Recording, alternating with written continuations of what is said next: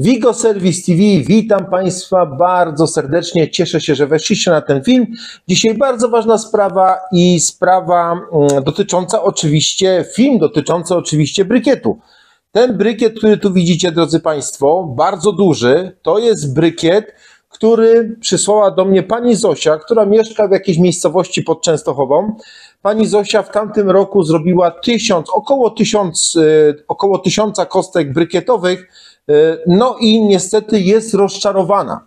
Y, Wzorując się różnymi kanałami y, w internecie, a jest tego dosyć dużo, postanowiła zrobić brykiet, wyciskając ten brykiet w wiaderkach, Można tak zrobić. Oczywiście Państwo, jeżeli chcecie, możecie tak próbować. I pani Zosia też postanowiła zrobić taki brykiet razem ze swoją mamą, dlatego że niestety, jak duża część społeczeństwa, e, przygnębiona tymi cenami, które w tej chwili są, cenami oczywiście za węgiel, cenami za gaz, cenami za prąd, postanowiła sobie troszeczkę ulżyć w swoich wydatkach, nie stać ją, żeby kupować węgiel za 3,5 tysiąca i przyznała się, że e, zawsze kupowała 4 tony na zimę, w tym roku niestety kupiła tylko dwie i postanowiła, że brykiet będzie takim uzupełnieniem. Generalnie sprawa wygląda tak, że dostałem ten brykiet do testowania. Ja oczywiście nie jestem autorytetem w tej dziedzinie. Ja oczywiście nie wydaję żadnych certyfikatów i moja opinia nie jest opinią wiążącą, ale bardzo chętnie, jeśli pani Zosia mnie o to poprosiła, dlaczego nie mam przeprowadzić testu spalania. A dlaczego mnie o to poprosiła? Bo ten brykiet w jej kominku nie chce się palić. To znaczy się, pali się, ale niewystarczająco, nie pali się taką energią. E, Bardzo dużo dymu jest podobno podczas tego spalania, a jest to brykiet zrobiony z trawy i z papieru, mniej więcej proporcje 50 na 50.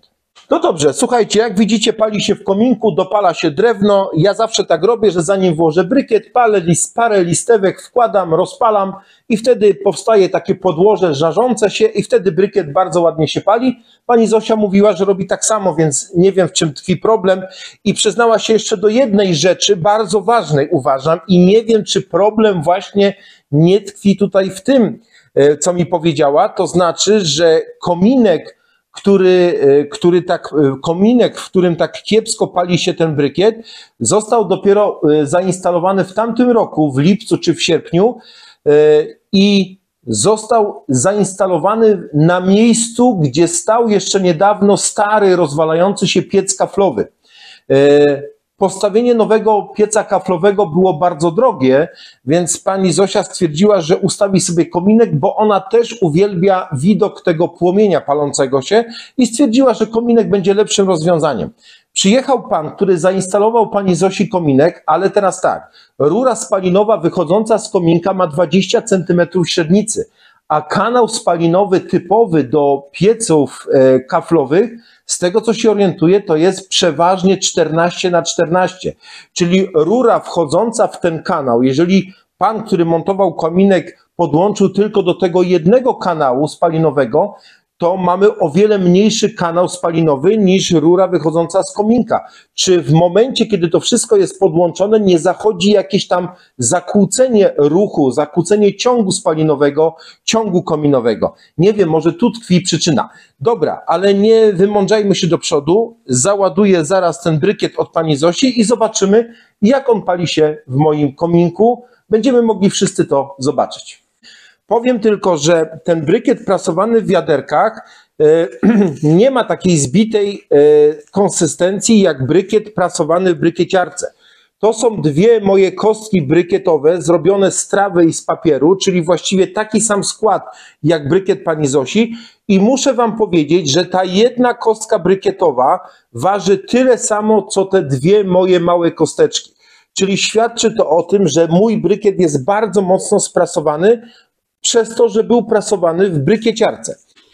No to ładujemy. OK.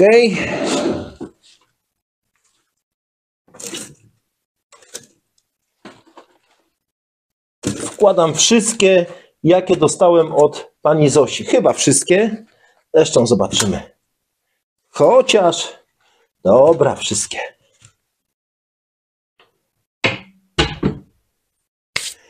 No i dobrze. Zmniejszymy powietrze. Tutaj przymknę, chociaż właściwie niech będzie otwarte. No dobra, brykiet załadowany, początek. Zobaczymy, jak reaguje na otwieranie i domykanie powietrza. Pani Zosiu, na razie to wygląda naprawdę bardzo dobrze. Nie wiem, dlaczego nie pali się w Pani kominku. Ja naprawdę nie mam tu żadnego mechanicznego nawiewu, wentylatora i tak dalej. Wszystko u mnie odbywa się na takiej właśnie regulacji, jak teraz można zobaczyć. Tu mam dolne, zaraz odsunę to, odsunę ten stolik.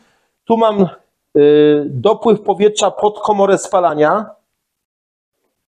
Otwieram dopływ powietrza pod komorę spalania, a tu mam dopływ powietrza z pomieszczenia. Proszę zobaczyć, że brykiet bardzo ładnie reaguje i zaczyna się bardzo ładnie palić. Poczekajmy jeszcze chwilkę. Nie wiem, pani Zosiu, coś jest z podłączeniem pani kominka. Coś tam jest zrobione niewłaściwie, nieprawidłowo. Bo jeszcze można powiedzieć, że na przykład komin pani Zosi jest y, brudny, ale z tego, co mi mówiła, to został wyczyszczony dokładnie przez osobę, która montowała kominek. Nie wiem, w każdym razie, no, pani Zosiu, pani brykiet pali się naprawdę dobrze. Poczekajmy chwilę, pójdziemy zobaczyć, czy leci dym z komina. No dobrze, znacie to, znacie to miejsce, bo zawsze w tym miejscu właśnie zaglądam na mój dach. Muszę posłużyć się statywem i zobaczymy, co się dzieje na dachu. Czy leci dym z komina, czy nie. No to chodźcie ze mną.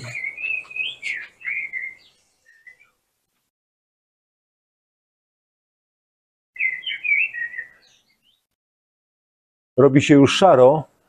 Tam widzicie dwa kominy. To są właśnie kominy. Jeden jest od kominka e, na dolnej kondygnacji, a drugi jest od tego kominka, w którym właśnie się w tym momencie pali. Nie wiem, czy widać jakiś dym, czy nie. No musicie mi Państwo uwierzyć na słowo, że to jest właśnie ten moment, kiedy palę w kominku brykietem pani Zosi. Dobra, to schodzimy z dachu. Muszę coś zrobić, żebyście Państwo uwierzyli, że to jest ten moment, w którym ja palę. Słuchajcie, teraz specjalnie to zrobiłem. Zszedłem tam z tego e, dachu, że tak powiem, skręciłem powietrze, zamknąłem powietrze dolne, zamknąłem powietrze to i przymknąłem komin. Czyli właściwie teoretycznie powinno się tutaj wszystko dusić. Zobaczcie, e, pomału e, znika ten płomień. Chcę Wam naprawdę pokazać, że, że to jest ten moment, gdzie ja palę w kominku, więc chodźmy jeszcze raz na ten balkon i pokażę Wam, czy teraz leci dym z komina, czy nie. No teraz powinien lecieć, no bo przytłumiony ogień, przytłumione spalanie powoduje większą ilość dymu. Dobra, to chodźmy jeszcze raz. No to zobaczmy teraz.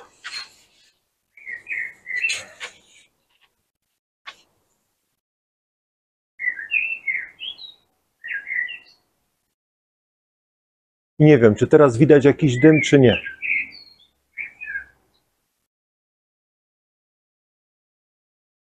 Poczekam, tak potrzymam trochę nieruchomo. Może zobaczycie Państwo jakiś dym. No dobra, to zobaczmy, co tam jest. Proszę zobaczyć, Pani Zosiu, pali się doskonale.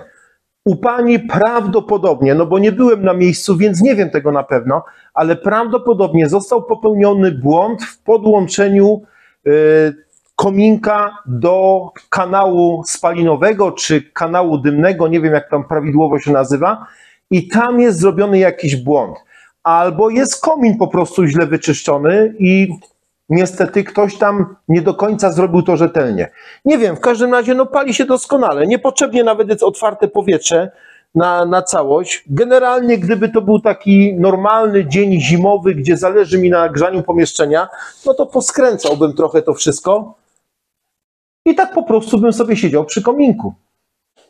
Wiadomo, że zawsze lepszy jest brykiet, taki, który jest sprasowany bardzo mocno, taki, który naprawdę po wyschnięciu tworzy taką zwartą, zbitą strukturę, wtedy, e, wtedy uważam, że ten proces spalania daje lepszy efekt, lepsze ciepło, lepszą energię. Ale jeżeli ktoś nie ma brykieciarki, jeżeli ktoś nie umie zrobić albo nie ma finansów, żeby kupić brykieciarkę, no to wystarczy, że zrobi w takich wiaderkach, tak jak pani Zosia, i też można napalić, można się ogrzać, można zaoszczędzić. Drodzy Państwo, już niedługo test mojego e, pieca akumulacyjnego czy komina akumulacyjnego i już niedługo też Państwu pokażę moją nową brykieciarkę, e, która będzie robiła jeden brykiet, e, ale to będzie brykieciarka, a zresztą zobaczycie, to będzie brykieciarka, która będzie wy, wyciskała brykiet od spodu.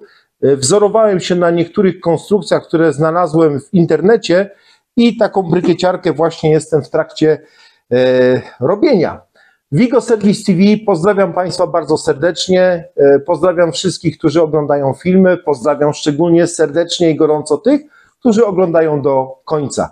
Jeśli Państwo macie pytania, dzwońcie. Zawsze na końcu filmu jest telefon do mnie, także nie krępujcie się, proszę zadzwońcie. Zawsze chętnie e, z Wami porozmawiam. E, drodzy Państwo, co jeszcze chciałem powiedzieć? Chciałem powiedzieć, że jeśli chcecie, żebym przeprowadził test spalania Waszego brykietu, no to możecie się ze mną skontaktować. Chętnie taki test przeprowadzę. Pozdrawiam serdecznie. Już niedługo nowe materiały dotyczące brykietów i dotyczące brykieciarek i dotyczące pieca akumulacyjnego. Cześć, pozdrawiam. Pozdrowienia z Poznania.